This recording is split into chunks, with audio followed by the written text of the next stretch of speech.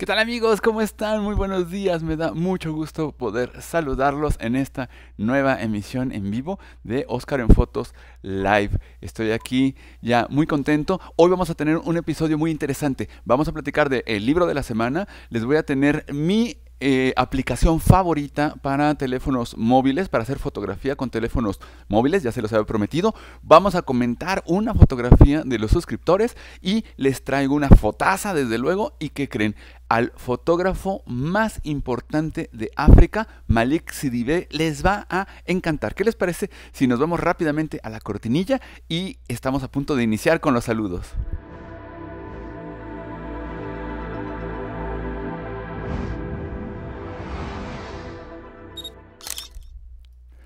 Bien, pues vamos a iniciar con los saludos y antes que nada, lo primero es lo primero. Quiero mandarle un saludo con todo mi corazón, con toda mi alma te adoro, a mi Claudia amada. Gracias por verme, gracias por estar aquí. Siempre me da mucho gusto saludarte antes que, antes que nadie. Y pues, ¿qué les digo? Que tenemos muchísimos saludos, muchísimos se están uniendo. María Espíndola, que está en nuestro diplomado de fotografía eh, artística, nos está viendo también Esther Cole desde Menorca. Oscar Sánchez nos está saludando desde León, en España. También nos está saludando Cabañitas. un saludo, un abrazo fuerte hasta Nezahualcóyotl, aquí en el Estado de México. Eh, a María Filomena, me da mucho gusto siempre que recibo eh, estos saludos de los amigos que nos ven en Brasil. Me da muchísimo gusto que compartan esta pasión con la fotografía. Y también por aquí José Luis Ávila nos está viendo desde Aguascalientes. Crisálida también nos está, nos está viendo y dice que agradece que compartamos esto. Bueno, pues es que, ¿qué les puedo decir? Por aquí, nada, esperando al maestro. Muchísimas gracias, Nissan. Por aquí, desde eh, un acopulcaño en, Vancouver, en, Washington. Fernando Cisneros, muchas gracias. Javier Yauguer, que nos ve desde Girona. ¿Quién más anda por aquí? Eh, argentinos, plaga somos. no, no, no, para nada. Andrés Juan desde Mallorca nos está viendo también. Hasta Murcia, un saludo muy grande. Uruguay presente, cómo no. Eh, ¿Quién anda más por aquí? Abrazos desde Argentina, desde luego. Madrid, Madrid, que en México se piensa mucho en ti. Muchas gracias, Ignacio. También, Maricato, sí, llegaste justo a tiempo. Estamos empezando nuestro, nuestro eh, Oscar en Fotos Live. Muchas gracias, Marta Maidón, Midón, perdón. bueno, no saben, eh, Oscar Gascón, saludos, mi querido Oscar. Eh, él está en Euskadi, él, está al norte de España. y me va a dar mucho gusto platicar hoy. Capi Cap, saludos desde Valencia también. Por aquí, Fabiana hasta, hasta Argentina, un abrazo muy grande. Bueno, ya no puedo, no puedo seguir porque vean nada más la cantidad. no voy a poder dar abrazos a todos pero siempre les agradezco mucho el favor de su atención. Vámonos al libro de la semana, ¿qué les parece? Eso creo que les va a gustar mucho. Yo quiero tener de amigos.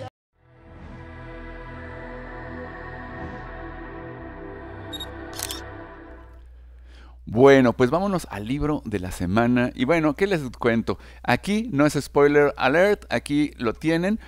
Les traigo este que es un librazo. A ver, déjenme decirles que para mí siempre es un dilema cuál es el libro de la semana que les traigo. ¿Por qué? Porque me gusta traer libros que sean asequibles, que sean fáciles de conseguir en muchos lugares del mundo. Eh, y, le he dado como muchas vueltas al libro de la semana porque quería traerles algo así. Pero en esta ocasión, sin duda, quise traer este que es un librazo. Los Americanos es un libro clásico de fotografía, de fotografía documental. Es más, yo les diría que es el libro que fue el par aguas, el antes y el después de la fotografía documental. Perdón, aquí me estoy volviendo un poco loco. Con el prólogo de Jack Kerouac, el, ya saben, el, el, sumo sacerdote del beatnik, de la cultura beatnik. Este es un libro que, a ver, yo les voy a confesar algo. No es un libro tan fácil. O sea, sí hay muchas fotografías de Robert Frank que entran y que enamoran, desde luego. Pero es un libro que requiere contexto, requiere comprender que es un fotógrafo suizo que llega a observar a una sociedad deprimida, deprimente, muy lejos del American Dream. Y esto, desde luego, a los estadounidenses no les gustó. Recuerden que Walker Evans, nada menos Walker Evans, le dio la carta de recomendación para que obtuviera la beca Guggenheim e hizo estas 28 mil fotografías que se tradujeron en 83 tomas que incluyó en este libro. Este libro se negaron en Estados Unidos a publicarlo. Eh, él lo publicó en Francia con Robert Delpierre, este, este editor increíble. Eh, y Robert Del Pire lo editó y se encuentra Robert Frank con Jack Kerouac, que justo había acabado de hacer su libro On the Road. Y Jack Kerouac, cuando ve estas fotografías, sintió el camino, sintió el, el pulso de Estados Unidos, eh, y, sin duda le dio el espaldarazo. Y entonces se publicó The Americans y se convirtió en un libro de culto entre los intelectuales estadounidenses. De inmediato tuvo un eco tremendo y eso fue lo que lo preservó, porque de otra manera ni siquiera se hubiera publicado en Estados Unidos. Y nadie conocía a Robert Frank, pero todo el mundo conocía a Jack Kerouac. Ahí tienen introducción de Jack Kerouac. A ver, es que no, como no estoy en espejo, me veo raro.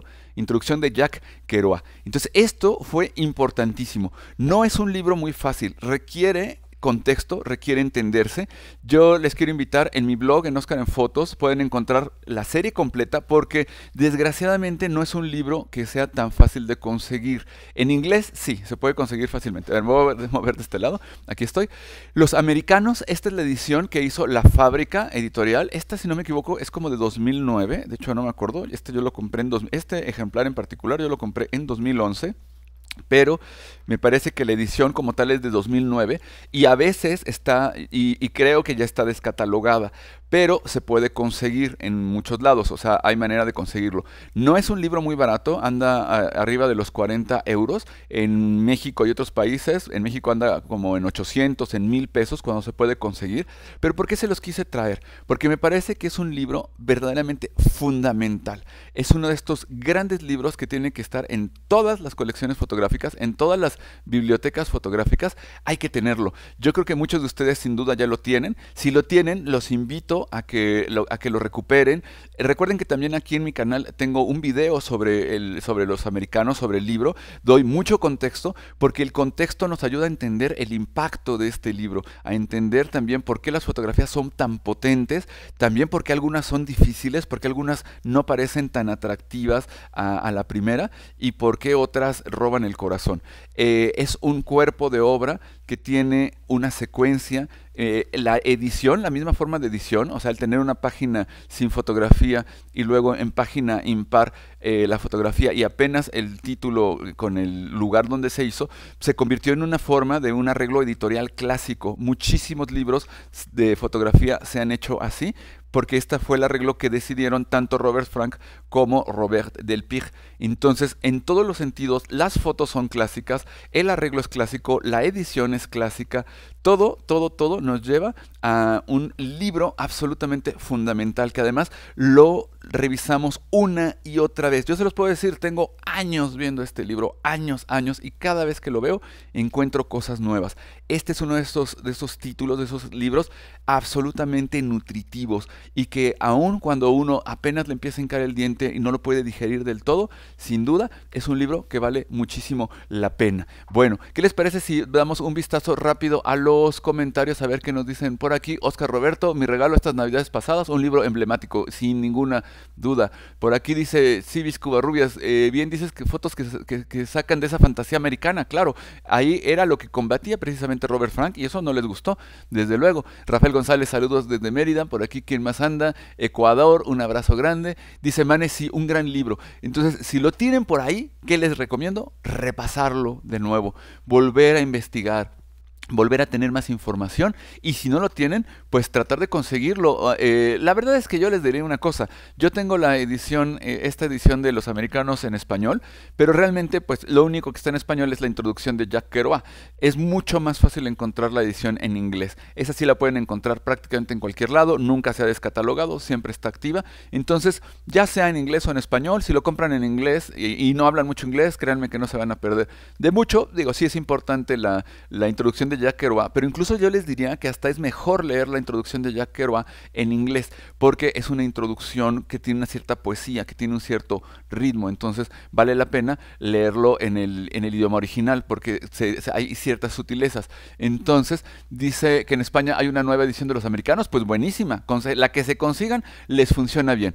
Eh, y les quiero recordar algo, hace ratito se me coló, pero déjenme decirles que eh, estoy muy contento porque pues están uniéndose cada vez más al canal. Yo quiero recordarles que le pongan un like al video si les está gustando, que se suscriban porque eso ayuda muchísimo al canal y que lo compartan, que compartan estos contenidos porque por eso los hago. Y estoy súper contento porque vean nada más, acabo de hacer esta captura de pantalla y vamos en 49.643 suscriptores, casi a punto de llegar a los 50.000, porque ustedes ya lo saben, yo me rijo por la filosofía de Roberto Carlos, yo quiero tener un millón de amigos.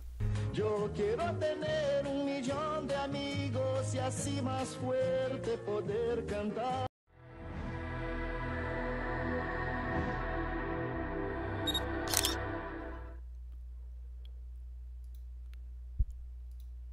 Bien, pues vámonos a Celu Fotos.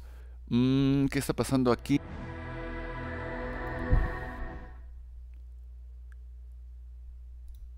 Amigos, perdón, fíjense que tuve un problema, no sé por qué la escena de celufotos no me deja, no me deja verla.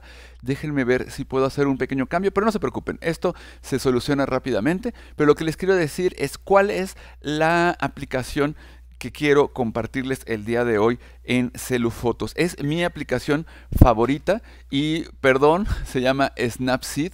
Eh, ya tenía mi gráfica y todo, pero por algún motivo no está funcionando. Esta se llama Snapseed. Déjenme, se los voy a escribir aquí rápidamente para que lo puedan tener. Discúlpenme porque no sé qué ocurrió. Ya saben que aquí en el en vivo siempre pasa algo, ¿no? Entonces, discúlpenme porque no puedo poner en Celufotos. Déjenme intentarlo otra vez, a ver si ahora sí me deja. Ahí está. Ahora sí, perdón. Eh, algo, algo raro hice, ¿no? Pero bueno, esta es la magia de hacerlo en vivo, ¿no? Porque los errores y eso me, me, da mucho, no sé, me da gusto. Bueno, a ver, déjenme decirles que aquí ya lo tengo. Esta es la aplicación, mi aplicación favorita para teléfono celular al momento del tema de la fotografía. ¿Por qué? Porque es una aplicación para la postproducción. Y esta es una aplicación que en algún momento compró, compró toda una empresa completa Google que hacía Snapseed, era Nick Collection, que ahora, ahora es de, de DxO. Y déjenme decirles algo, ¿por qué me gusta mucho Snapseed? Es una aplicación que tiene, para pensar, es buena, bonita y barata. No solamente es barata, es gratuita. Está disponible tanto en Android como en, en Android como en iPhone sin ningún problema. Yo sé que hay muchos de ustedes que también utilizan otra aplicación de la que voy a hablar más adelante, que es Lightroom Mobile, pero a mí personalmente me gusta más Snapseed, me gusta más el control. Es una filosofía muy distinta. Les voy a poner aquí un pequeño videito de donde tengo una secuencia que hice de Snapseed. Estoy ahí, como pueden ver, eh, metiéndole mano a la postproducción a una fotografía, la convertí a blanco y negro, etcétera. Y es una aplicación que, aunque no lo parezca a primera vista, es muy muy intuitiva, es muy fácil de usar, muy poderosa, se puede usar, se puede hacer la, postproducción directamente, se puede utilizar también RAW, es decir, se pueden hacer los archivos en DNG, ahora muchos teléfonos de tope de gama permiten hacer, eh, por ejemplo en iPhone el ProRAW o en el, en el caso de los Android eh, se pueden utilizar el formato Digital Negative Format, que es el DNG, y entonces puede eh, sacarse mucho jugo a esta, a esta, a esta eh, aplicación. Podemos sacarle mucho jugo a nuestras fotografías, trabajar los acabados, poner virados. Es enorme la cantidad de opciones y de cosas que podemos hacer con Snapseed. Entonces, a mí me gusta muchísimo. Es muy fácil compartir las fotografías una vez que ya las que les hicimos la postproducción. Es muy fácil transportarlas a WhatsApp, a fotos, a, a cualquier aplicación que ustedes tengan que sea con la que compartan fotografías, tengan su biblioteca, es súper fácil. Es una aplicación que es verdaderamente poderosa. El blanco y negro funciona muy bien. Las emulaciones de grano, a ver, honestamente, lo mejor que hay en el mundo, ya lo voy a platicar en algún momento, es Silver FX Pro, sin ninguna duda. O sea, es el software más avanzado en emulación de blanco y negro y de grano fotográfico. Pero la verdad es que en el Snapseed está bastante decente. No, no, le, no, no le hecho en falta mucho. Entonces, creo que vale mucho la pena. Y les tengo una noticia que creo que les va a gustar mucho. Fíjense que en mi canal de YouTube tengo un curso gratis que pueden verlo de eh, Snapseed. Tiene eh, en cada una de las lecciones repaso a fondo Snapseed. Lo enseño de cabo a rabo toda esta aplicación. Este es un curso gratuito. Lo, solamente qué es lo que tienen que hacer eh, para entrar a este curso. Se meten a YouTube, le ponen Oscar en fotos, todo junto, y le ponen Snapseed y les va a salir esta lista que están viendo ahí. Y entonces van a poder aprender todas las características que, que, tiene Snapseed, que es una aplicación que a mí me encanta, me parece que es sumamente poderosa, sumamente divertida y que si ustedes ven el cursito que armé, creo que les va a encantar. Entonces descarguen Snapseed, de verdad no se van a arrepentir. Y claro, ya platicaré de Lightroom Mobile, ya también lo tendré aquí en Celu Fotos, pero por lo pronto esta es una aplicación imperdible. Vamos a ver algunos, algunos saludos que nos están mandando rápidamente. Eh, Emilio Olivares nos está viendo desde Alicante, también Ricardo Mejía, un abrazo hasta Barcelona. ¿Quién más nos ve? Eh, Cabañitas, muy buena y sencilla aplicación, una maravilla. Bueno, sencilla, pero métete al curso, vas a ver que eh, la cantidad de información y lo que se puede hacer. Dice Marta Midón que también ella prefiere Snapseed. Yo también, definitivamente. Sí utilizo Lightroom Mobile, pero no, no me encanta, honestamente. Eh, y ya platicaré, ya platicaré por qué no me gusta tanto Lightroom Mobile, pero también, desde luego, tiene cosas potentísimas. Es una gran aplicación Lightroom Mobile. Eh, ¿Se puede imprimir buenas fotos editando desde el celular? Sí. La respuesta es sí. Déjame decirte que mi querido José Romero, que incluso eh, hace algunos años hicimos una exposición de mi queridísimo maestro que ya se, ya se nos fue, Eniac Martínez. Él hizo fotografías en un viaje que hizo de Tánger a Calais y, él, eran fotografías que hizo con su celular. Y ni siquiera crean que, crean que era un gran celular, porque estamos hablando de que era en ese entonces el iPhone 6. Era el mejor de ese momento, pero el iPhone 6. Hicimos impresiones de 40 por 60 centímetros e incluso de 60 por 80 centímetros y funcionaron. Entonces, la respuesta, José, es sí, sí que se puede editar, hacer una, una buena impresión a partir de fotografías del celular. Por aquí Alex Romo que nos saluda desde Aguascalientes, eh, tratando de aprender, tan amablemente nos comparte. No, pues muchas gracias, es que es un placer hacerlo. Dice Civis que ella de hecho ya la usa y está muy padre y algunas herramientas, claro, este, enamoran mucho. Dice Pablo que él da fe de ello, pues sí, para que vean. Siempre les, les traigo esto para compartirles lo que a mí me gusta porque me funciona y porque a mí me interesa que a ustedes también les funcione. Buenas, buenas tardes, saludos desde Barcelona. ¿Quién más anda por ahí? Karina Hernández nos saluda, muchas gracias por este, por estar con nosotros. ¿Quién más anda por ahí? Carlos Vargas también, saludos hasta Querétaro, desde luego. Por cierto, voy a estar en Foto Enfoque Querétaro 2023. Eso va a ser en dos semanas, va a ser Todavía no me, me parece que es del 22 al 25. El próximo en vivo voy a hablar largamente de fotoenfoque. Van a ver 15 exposiciones simultáneas, va a haber presentaciones editoriales, se va a presentar el último número de Alquimia, esta revista fundamental, increíble. Le mando un abrazo muy grande a mi querido Juan Carlos Valdés, director de la Fototeca Nacional, y le mando de una vez un abrazo enorme a Luis Beltrán, director de la Escuela Activa de Fotografía de Querétaro, que hace este enorme esfuerzo por hacer fotoenfoque. Y ahí voy a estar en una conferencia donde voy a hablar sobre fotografía y tecnología. Va a estar ahí también Laura González, va a estar Armando Cristeto hablando de diversidad, de estas fotografías maravillosas que hace Armando, y yo voy a estar hablando de tecnología. Yo voy, voy a hablar en Fotoenfoque Querétaro 2023 el viernes, pero la próxima semana les platico más de qué va a ir la vida. Bueno, ¿qué les parece si vamos a una sección que les gusta muchísimo, que es Comenta mi foto?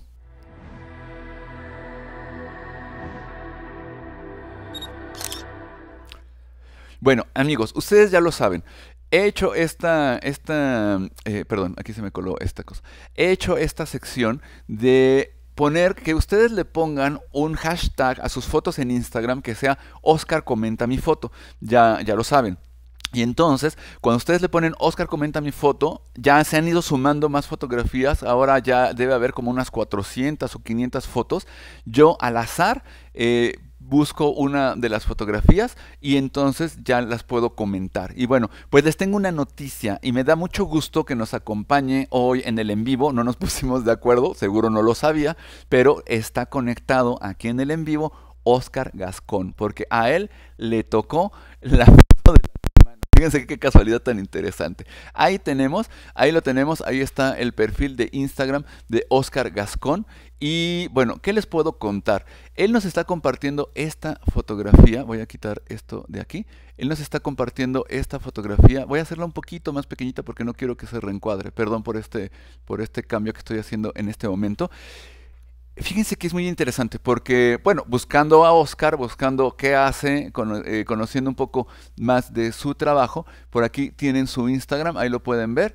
Ahí, ahí está el Instagram de Oscar Gascón y ahí viene su página web. Y entonces así fue como me enteré, obviamente, de que Oscar Gascón es quien eh, es el autor de esta, de esta fotografía de la semana. Y viendo el trabajo de Oscar, déjame decirte, mi querido Oscar, que me encantó. Tienes un trabajo muy maduro en general. Me parece muy interesante todas tus series de, de viaje, de fotografía de calle, etcétera. Eh, y creo que vale la pena que se den un, le den un vistazo al Instagram de Oscar. Y quiero comentar tu foto, aunque sea brevemente. Y va a estar muy enlazada la fotografía de, que, Comenta mi foto con eh, el autor que vamos a ver el día de hoy, que es Malik Sidibe, que es el plato fuerte de nuestro episodio del día de hoy. Pero ¿qué veo yo en la fotografía? ¿Qué puedo comentar en la fotografía de Oscar Gascón? Para empezar, el que trabaja, tú que trabajas, Oscar, también el blanco y negro, me parece que esta foto pide el color. O sea, eso es bien importante en la fotografía. Hay proyectos que de inmediato decimos, este es blanco y negro, el color no aporta mucho, el color es una capa distractora, entonces mejor trabajo en blanco y negro. Pero hay proyectos que piden el color. Eso le pasó a Bruce Davidson, que toda su vida hizo fotografía en blanco y negro, y de repente cuando hizo fotografías del subterráneo en Nueva York, del metro, pidió el proyecto que fuera a color y desde luego eso fue muy importante. Entonces, lo primero que me parece que no es obvio y es muy importante en esta fotografía es la elección de haber hecho la imagen a color. Esto nos remite, vean nada más qué colores fantásticos los de los que tiene el chico de la izquierda atrás, este amarillo intenso del chico de la derecha y vean los patrones, exuberante. Yo les diría que esta foto grita número uno color. Número dos, textura. Vean las texturas que tenemos al fondo, son impresionantes. Eh, la textura en términos de lo que tenemos en la bicicleta, vean, eh, un poco como oxidada. El piso, pura textura, textura. Y es una foto exuberante. Es eh, lo que me llama mucho la atención y me gusta mucho de tu foto, Oscar, es que aunque tiene muchísimos elementos y son elementos muy complejos y cada uno podría competir con el otro, en tu foto se complementan muy bien enlaza perfecto la textura de atrás con los textiles, con los colores, con la piel y me parece excelente. ¿Qué, más me parece que funciona muy bien en esta fotografía? Mirada en cámara, una conexión tremenda. Observen, cuando, cuando yo no veo en cámara no hay una cierta conexión, pero cuando estoy observando la cámara, de inmediato se da esa conexión. Y eso es lo que hace que esta fotografía sea muy poderosa, porque está enlazando directamente, están viendo a la cámara. Y eso funciona muy bien. Además, tenemos tres chicos. La composición no es sencilla. Pienso perfectamente cómo te moviste cómo te cómo eh, encuadraste y cómo elegiste esas yuxtaposiciones. Vean, siempre cuando hay una yuxtaposición, un plano detrás de otro, cambian las relaciones cuando se mueven. Y eso es lo que hacemos con nuestra cámara. Ese es nuestro pincel, ese es el pincel que tiene cada quien que hace fotografía. Entonces me parece que están, todo está en su lugar, nada estorba, todo aporta. Yo realmente no diría, no quitaría ni pondría nada. Me parece que el encuadre está ligeramente apretado a la derecha. El codo está casi rozando en nuestro, nuestra frontera fotográfica, que es, el, que es el marco, que es el encuadre, pero no me molesta, ¿no? O sea, la verdad es que no es algo que, ofenda, ¿no? Es, funciona perfectamente. Y eh, la expresión de los chicos, la piel se ve perfecta, la exposición es excelente. La, la luz, debo de confesar que no es maravillosa, es una luz más bien cenital, más o menos de mediodía, pero funciona, pero no, no demerita la fotografía, ¿no? Creo que es una toma que realmente nos, nos, eh, nos, lleva a, nos lleva a África, nos lleva a entender a estos chicos, nos enlaza, es una fotografía de corte humanista que además tiene este, esta impronta de fotografía de viaje, pero también de fotografía documental, de cómo cuando viajamos hay historias que nos tocan el corazón, personas que nos cambian, encuentros, y, creo que lo que es muy importante cuando ocurren estos, estos temas es saber codificarlos, saber cifrarlos fotográficamente. Y eso, déjenme decirles que no es muy fácil, porque cuando vamos a otro país, yo digo que nos da el síndrome del perro bañado, ¿no? El perro bañado, ah, estaba recién bañado y corre y va y tal. Entonces, eh, los acentos, los olores, nos impregnan eh, y, eso nos hace volvernos un poco locos. Entonces también hace falta una cierta distancia psicológica para decir, a ver, sí, sí, sí, todo eso está muy bien, pero eso es anecdótico.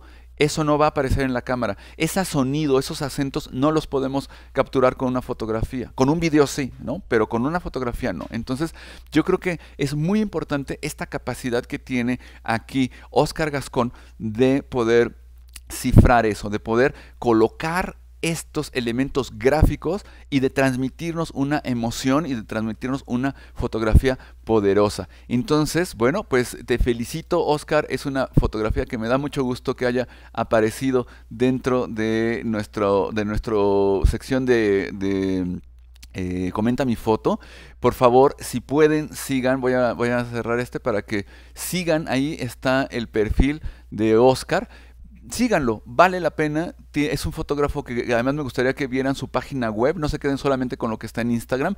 Está muy bien organizada su página web, es una página web limpia, es una página web profesional. Yo creo que es de verdad ejemplar, ¿no? Así deberían ser las páginas web de nuestros portafolios fotográficos. Oscar, te felicito muchísimo, realmente es una gran toma y me alegra mucho que hayas entrado a, que pues te haya tocado porque fue, fue tal cual yo genero un número al azar y puedo ver las fotografías. ¿Qué les parece si vemos muy rápido eh, algunos de los comentarios que nos tienen por ahí? Debe ser, a, ver, antes de eso, déjenme ver, eh, perdón, me estoy volviendo un poco loco. Debe ser hashtag en la foto del perfil de Instagram, así es, así es Marta. Lo que haces es le pones el signo de número, que es el hashtag, y luego Oscar comenta mi foto. Eso, cuando yo hago una búsqueda en Instagram buscando ese hashtag me va a aparecer tu fotografía y así es como la voy a poder comentar. Recuerden que lo hago al azar. Aquí sí es totalmente al azar. Eh, genero un número aleatorio y el número al que le toca, busco qué número de fotografía es y ahí es como lo puedo mostrar. Eh, por aquí Mariana nos dice, me encanta esta foto, súper poderosa. Eh, también dice, Mane la había visto y me gustó también cómo la hizo. Dice Mane también que está de acuerdo. Sí, tal cual, eh, esta va el color, desde luego, el color funciona muy bien. Karina también eh, dice que es una imagen maravillosa, mi querido Oscar. Eh, pues ya ves que no estoy solo, ¿no? Ahí nos mandan un saludo desde Andalucía, ¿qué más tenemos? Gran aplicación para los móviles, nos dice casi guay, perfecto.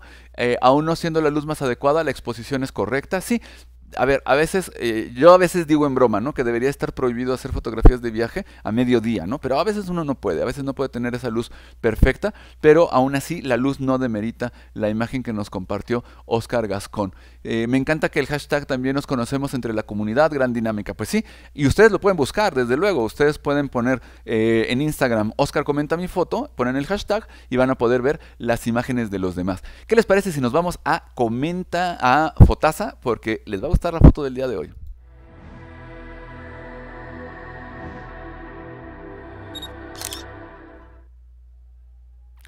Bien, bueno, pues aquí tenemos la fotaza del día de hoy, que es nada menos que de William Klein. Voy a, voy a, quitar un poquito la, imagen porque quiero platicar algo rápido de ella. Esta foto, por ahí, en una presentación que hice que sobre inteligencia artificial en otro de los capítulos, puse esta fotografía como un ejemplo y, y muchos me dijeron, oye, pues coméntala en fotaza. Pues claro que la voy a comentar. Primer asunto, esta fotografía es de William Klein, este gran, gran fotógrafo estadounidense que se fue a París cuando, cuando hizo el servicio militar, se quedó a estudiar en la Sorbona, eh, ahí conoció a su esposa, se casó y después regresó a Estados Unidos, pero siempre fue demasiado francés para Estados Unidos y demasiado estadounidense para Francia. Y él empezó a hacer fotografías de moda, eh, le daban muchos encargos distintos como ilustrador, como artista, como diseñador, eh, etcétera. Pero al final del día lo que, lo que hizo William Klein fue empezar a recorrer las calles de Nueva York. Y William Klein, solamente les quiero platicar rápidamente que era un individuo muy bravo, era un chico judío que fue acosado por todo el mundo que se puedan imaginar. Eh, desde afroamericanos, desde este, irlandeses, de todo puertorriqueño, todo el mundo, él estaba en el ojo del huracán y entonces aprendió a defenderse. Y así realizó esta fotografía que se llama Pistola número 1, Gun Number One, de William Klein en la ciudad de Nueva York en 1954. Y ojo, porque él hizo fotografías en Nueva York muy en paralelo a lo que hizo eh, Robert Frank y se conocieron, desde luego se conocieron e incluso coincidieron en algunas fotografías, en algunos lugares que fueron famosos para los dos, coincidieron. Eso me pareció que fue interesantísimo, muy, muy importante. Bueno, pues otra clave importante es que aquí tenemos una fotografía que está hecha con un objetivo angular muy cercana, está tan cercana a la pistola que está fuera de foco, vean nada más, vean la expresión del niño de la izquierda, el niño de la derecha.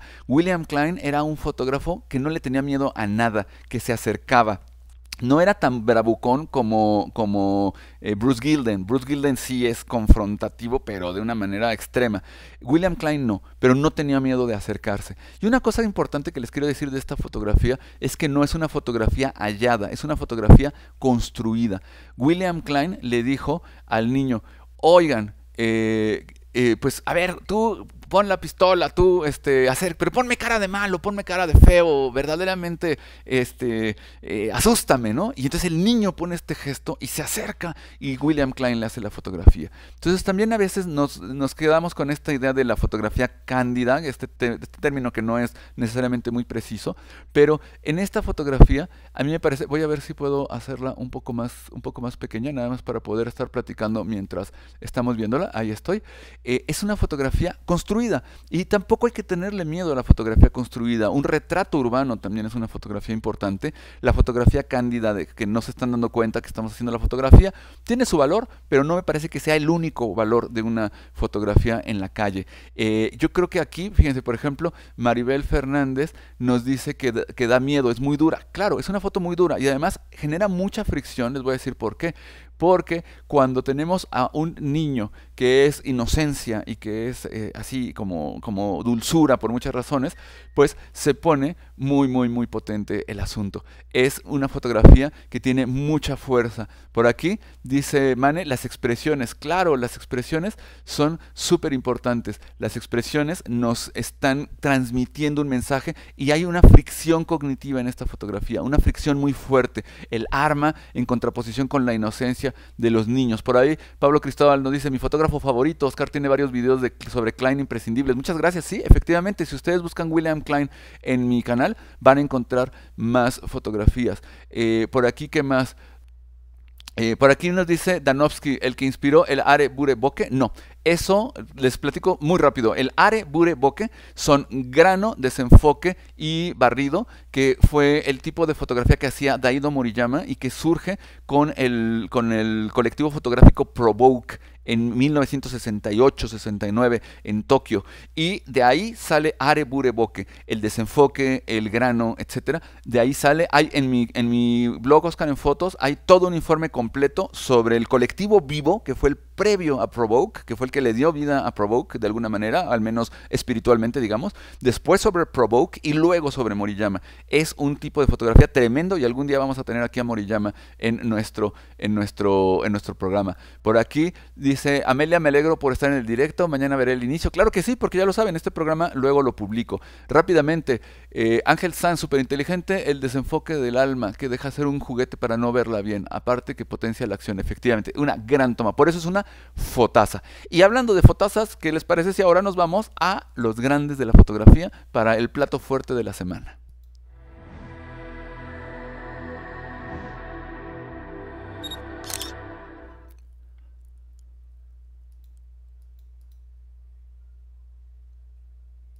Por aquí estoy teniendo otra vez un problema con, este, con la cámara. Déjenme ver si lo puedo poner bien. Bien, ahí estoy, perdón. Hoy quiero platicarles de Malik Sidibe. Malik Sidibe, les voy a poner la foto al final, no, no, no, les, quiero, no les quiero poner foto ahora mismo de Malik Sidibe. Él nació en 1935. Él trabajó en Sudán, de manera más concreta en la ciudad de Bali. Y es muy importante este fotógrafo eh, porque él hizo toda una construcción de la sociedad africana de Sudán, de Bali. Él, les quiero platicar algunas claves para cuando vean las fotografías de Malik Sidibe, que las vamos a ver adelantito en un video que les preparé, pero les quiero dar algunas claves que les van a parecer muy interesantes. Número uno, Malik Sidibe se iba a los bailes, a las fiestas nocturnas que se daban los sábados eh, en Bali y llevaba su cámara. Y entonces él hacía fotografías de la gente bailando, pasándose lo increíble, etc.